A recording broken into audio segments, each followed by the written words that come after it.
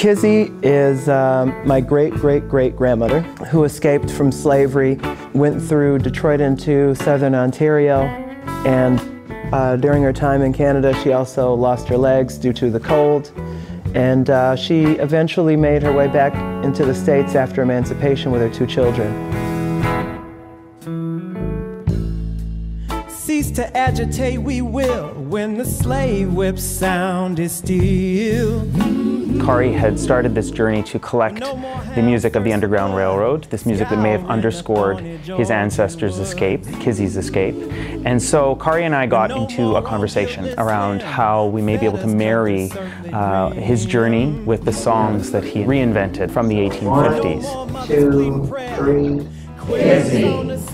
Not only is the story incredible, but the music.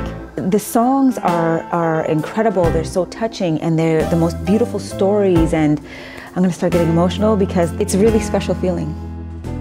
I sang my song to the river. I think all Canadians should spend some time in a space where our mythologies are challenged. Slave would be tied to the ring. And I do think we have a very reflexive impulse around the Underground Railroad. And what I'm really excited about is I think this piece complicates that. I think it celebrates the things that make Canada great. And it also points out that there's still a long way to go and that we've never been perfect. It's been an incredible journey and joy to feel like I'm part of a tradition, a very long lineage of people who have seen art as a means to provide a sense of power for people who are struggling. A lot of those stories have been omitted, unjustly denied.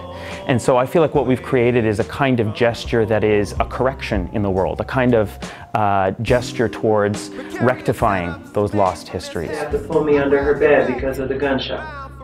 Well, I would hope that uh, that you would come along on this ride with me so that we can learn more about who we are, that we can learn what it means to be human, but also that our voices count and that we all have a right to share uh, in this life together. The time